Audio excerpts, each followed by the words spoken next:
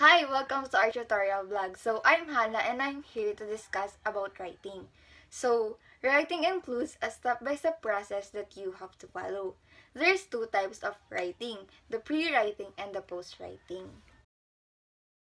Pre-writing is the formulation and organization of ideas preparatory to writing. So, the first step in pre-writing is choosing a topic. Brainstorming, pre-writing, and clustering are useful in generating a topic.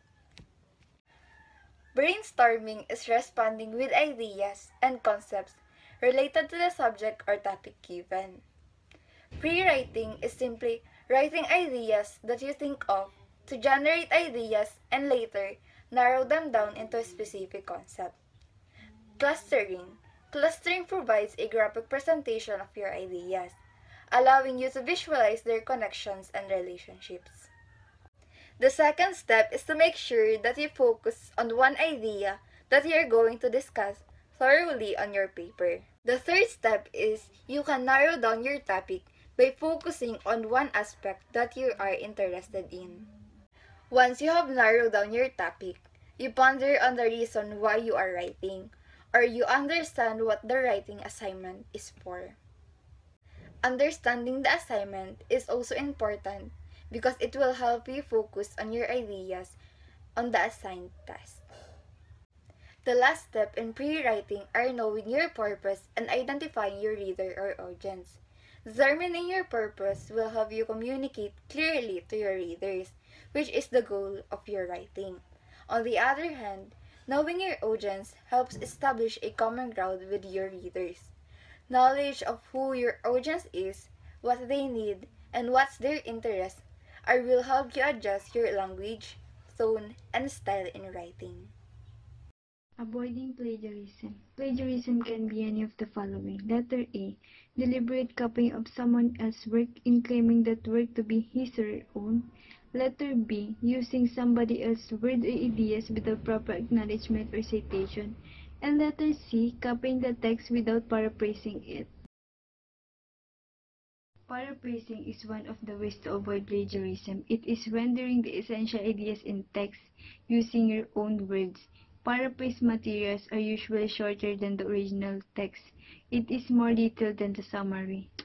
Another way of avoid plagiarism is to direct quote the sentence or the paragraph that you will use in your paper. Quotation must be identical to the original text.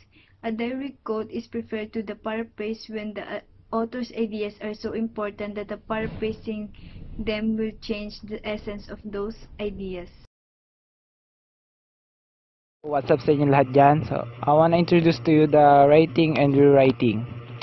First is, this is where you develop your thesis statement. So, this the claim or stand that you will develop in your paper. So it is also controlling idea of your essay. It gives your reader idea of what your paper is all about. So this is the characteristic of good thesis statement. A strong thesis statement should be offer debatable claim that you can prove or disprove on your essay. The claim should be debatable enough to let your readers disagree or agree with you um, this is the example of not good thesis statement. Because there there is nothing contesting statement. So this he this is the example. Women and men are born to perform specific rules. It is just stating the woman and men have specific roles to perform. Guess Next is your analysis of your readers will be help improving your thesis statement. For instance, also there seems to be specific rules assigned to women and men. Those rules should never dictated or nor limit women and men to do other things that are beyond their assigned rules.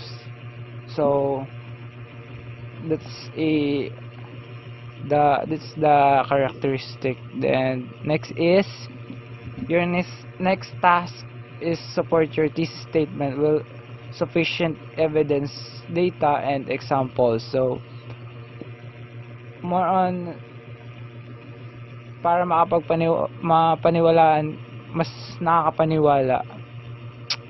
Um, nice precise and easy to understand. Some writers starts organizing their draft by making an outline. So outlining is a for me it is a most common because you can you can um, scrutinize your ideas by using this outlining or is that right? Uh, word scrutinize. Um, you can easily understand your idea by by using outlining. So it is very effective because I use it uh, sometimes when I I want my I want to easily understand a specific topic. Oh. Okay, let's start. To introduction. Yun na. Introduction to academic essay. This provides a background of your topic, poses a question regarding the topic, and explain how the question is problematic and significant.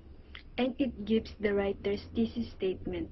This can be written by two paragraphs. The body. This is where the bulk of the essay is found and where you develop an answer or purpose, a solution to the thesis statement in the introduction. In the body, you have to support your main points and include the other details that would support your statement. You can outline your main points before writing the body. uh, I want to introduce to you conclusion. So, how to write a conclusion. So, you need to bring uh, bring together your points that comes up from your paper. So, you need to emphasize your final point. Then, um, don't just summarize your your points um, make sure that you synthesize it and you synthesize the main points and emphasize your thesis statement. So um last uh, this is the most important. Don't um don't come up with a new topic because here there's is uh, you need to focus on your paper not on other topics. So thank you